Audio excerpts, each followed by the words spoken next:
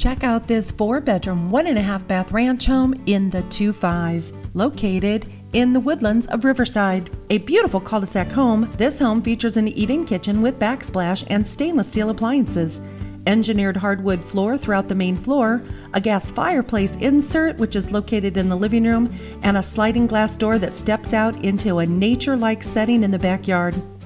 The concrete patio overlooks the common grounds of IPFW soccer fields.